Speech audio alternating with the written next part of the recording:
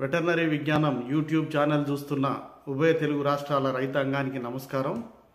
ఈరోజు నాటుకోళ్ళు పెంచేవారు ఈ వర్షాకాలంలో తీసుకోవాల్సిన జాగ్రత్తలు అనే అంశం గురించి మనం మాట్లాడుకుందాం. వల్ల కోళ్ళ ఫారాలలో ఎక్కువగా వ్యాధులు వచ్చే ప్రమాదం ఉంటుంది. ఆ వ్యాధుల వల్ల ఎక్కువ సంఖ్యలో కోళ్ళు చనిపోతాయి.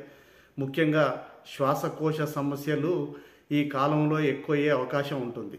ఇక వర్షాకాలంలో మనం తీసుకోవాల్సిన జాగ్రత్తల గురించి మనం వివరంగా మాట్లాడుకుంటే ముఖ్యంగా కోళ్ళ పెంపకందారులు వాళ్ళ కోళ్ళ ఫారం ప్రారంభించే ముందే షెడ్డును ఎత్తైన ప్రదేశం నిర్మించి ఉంటారు.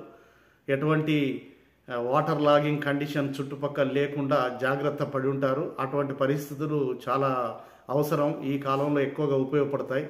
ఈ ఫారాల చుట్టూ వర్షాకాలంలో కనీసం ఐదు మీటర్ల చుట్టూ పరిశుభ్రంగా ఉండేలా చూసుకోవాలి. ఎటువంటి నీరు నిలవకుండా చూసు కొన్ని ఎలక్ట్రికల్ బల్బులు ఏర్పాటు చేసి డిజిటల్ థర్మామీటర్ పెట్టి ఎప్పటికప్పుడు ఉష్ణోగ్రత ఏ విధంగా ఉందో చెక్ చేసుకుంటూ పోవడం అనేది చాలా వర్షాకాలంలో లిట్టర్ యాజమాన్యం అనేది చాలా ముఖ్యమైంది.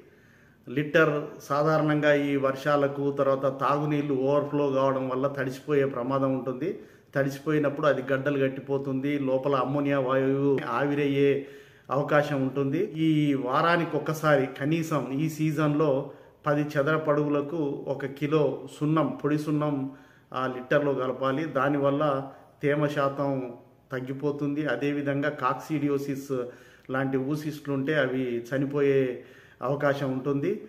తర్వాత లిటరు సాధారణంగా మనం నాలుగు నుంచి ఆరు అంగుళాల మందం ఉంచుతాం. కానీ ఈ సీజన్లో తొమ్మిది అంగుళాల మందం మనం ఉండేటట్టు మనం చూసుకోవాలి. వర్షాకాలంలో లిటర్ మెటీరియల్ దొరకడం చాలా ఇబ్బందిగా ఉంటుంది కాబట్టి ముందే మన అవసరానికంటే ఇరవై శాతం ఎక్కువ లిటర్ మనం నిల్వ చేసి పెట్టుకోవాల్సి ఉంటుంది. ఇక దానా బస్తాలు ఈ వర్షం జల్లులకు తడిసే అవకాశాలు ఎక్కువగా ఉంటాయి.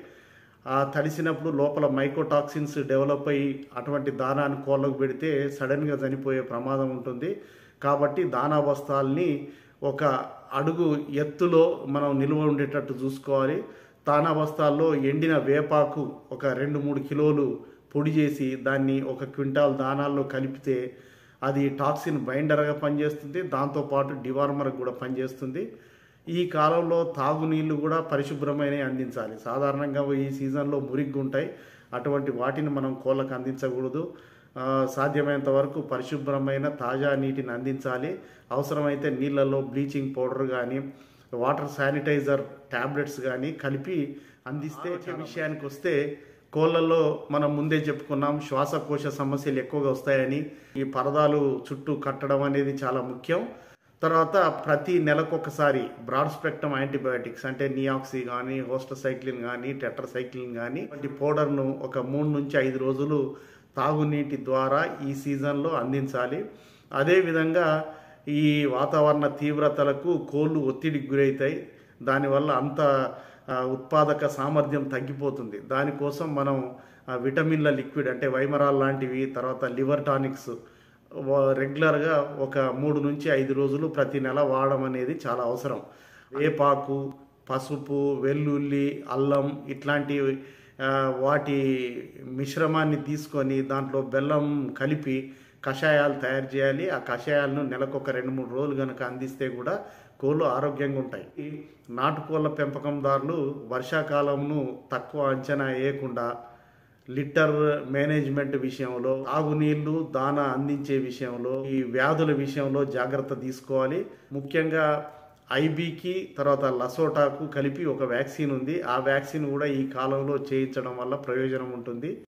ఈ విషయాలన్నీ నాటుకోళ్ళ పెంపకందారులు గమనించి ఆచరిస్తారని ఆశిస్తున్నాను. ధన్యవాదాలు.